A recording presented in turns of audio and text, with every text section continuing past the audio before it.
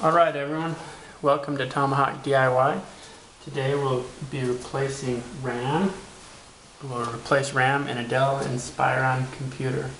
So this is uh, how you can upgrade your RAM uh, memory for the computer. First let's make sure we have the right tools. You need a small Phillips head screwdriver.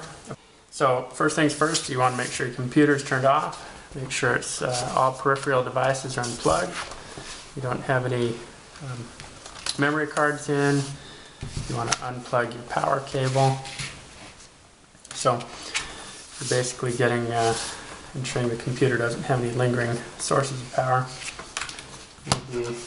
Removing the battery.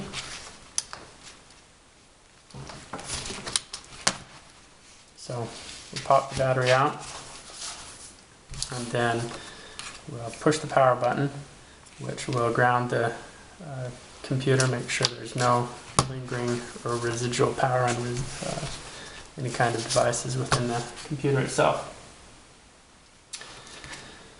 To start off, once we've reached that point, we will locate this back cover. Um, there's two different modules where RAM is um, placed on this computer.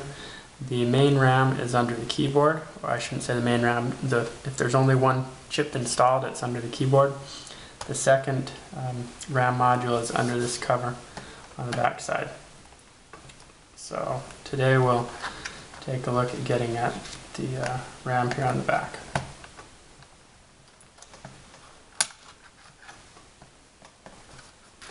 So we're going to unscrew this. So to remove this cover, it takes some force with your fingernails. Um, get them under, you'll start hearing some clip pop. And this cover can actually be removed. You can set that aside. Um, we'll take our memory. And then you've got pins here that you want to line up with the pins align the pins properly. It'll snap in at about a 45 degree angle. We simply push down until it clicks in place. You see these two covers um, that are now in place. And we can replace this cover and away we go. Get this snapped back in place good. Push it push it in place.